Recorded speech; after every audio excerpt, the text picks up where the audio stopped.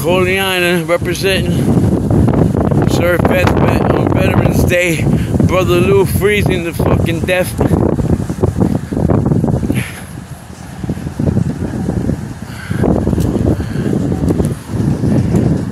Here go a veteran right there, Coney Island, Brooklyn, asking for money. A Veterans Day, a veteran asking for money, And they don't give. and they don't give. What you got to say about that, my You young brother? put me on YouTube?